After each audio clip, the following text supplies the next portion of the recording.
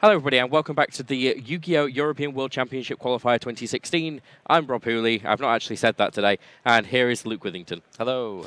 Now, uh, last round, I took a few little bits and bobs of highlights. I was actually gone for a little bit of the match, going to go and fetch the deck list so Bits and you'll be able to have a look. Um, so, I kind of took what you were saying and when you what you were saying was important, what was meant to be happening next, and then Yeah. kind of looked to see when it was actually happening. Yeah. Uh, so if we go to highlight number one, um, this was essentially the first time that the scales were broke were broken. Yeah. Uh, it didn't actually turn out to be much of important because he then immediately just came back from it. yeah. Well, he, he got Monkeyboard, didn't he? If I remember correctly. Yeah, pretty much. He, he essentially pulled exactly what he needed to be able to do to be able to get back on that.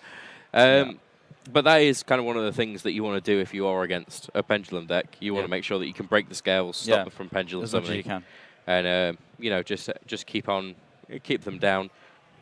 Just keep them down, Keep them down. man. Keep them down. Bits Yeah. and bobs. You're not going to let me live that down. Uh, can I go through to number two, please? Now, this is just uh, where the Dragonpit starts popping things. So you got uh, a lot of toolbox going on with Yeah. with your uh, pendulums, with your magicians. Yeah, I think uh, that was actually a really good, insightful interview from Joshua about Mhm. the about the different engines that he plays and some really good reasoning behind them. Um, if you just missed that, you know, it's going to be on YouTube later. I, I think that that's going to be one that I send people to about the pendulum deck.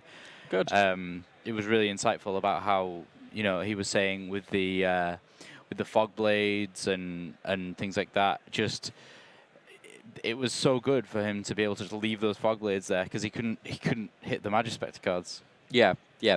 Now, um, uh, number three, if we go to that now, is basically where the uh, last pendulum summon happened, and then Joshua's opponent noped, noped on out of there. He noped. Yeah, there we go. There's the two cards down, and then he just went.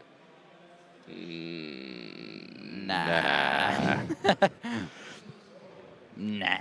So, but you can see the kind of impressive board that was going on, and the fact that uh, Dan- Daniele was not really getting much at No. all. That in any I of think he got games. pretty unlucky to be honest. yeah.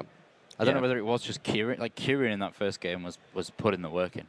Now, can you think of anything, uh, anything else that happened during that game? Because as I say, I wasn't there for the full game. No, I think it was more of the same. It was more of the same. Just kind of really grinding, trying to get that perfect pendulum summon off. So yeah. Okay, uh, now number f- four. Uh, I think this was the good opening over on Daniele's side Yeah. that was marred by the fact that a Maxx C had been played. Yeah, I need I need milled Sir as well. So So yeah, unfortunate. yep. So he he wasn't really having a very good time with that one.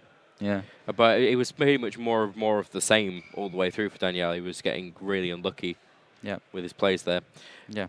Now, number five.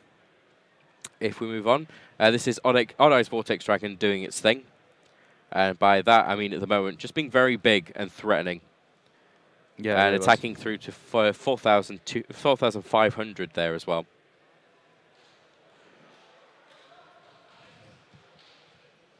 Yeah, and at that point, I think Daniele already knew that just getting past that Vortex Dragon was not going to be easy. Yeah. Now it was. I did want to try and get the final one there, uh, which was going to be when the game ended, but there wasn't really a definite point in which they kind of agreed that the game had ended. I found looking looking over the top of them, it was just kind of like they one of them just picked up the deck and that was it. And all of a sudden the game had ended. I didn't even see a handshake. No. There was no handshake. Mm, I honestly I think Daniele might have been a, little bit annoyed about that. Yeah. Let's be honest, it was just yeah, it was a bit brutal. A little bit brutal. Yeah, definitely, definitely. Now, is there anything else during those games that you think you know this is this was noteworthy?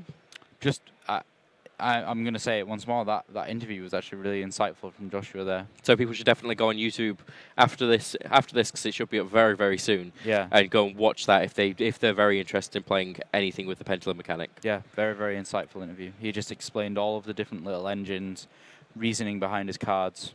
Yeah.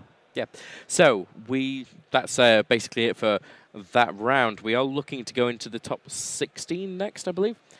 So we're getting there. We're nearly Oh, we're getting, getting there. there. Yeah, it's The uh, top 16 duelists. new two more rounds, and then we well, in one after that round, we decide who goes into the top four, and the top four are the people that get to go to go to Worlds, don't they? Yes. So we're it's, it's nearly all coming down to this, but Yeah. not quite yet.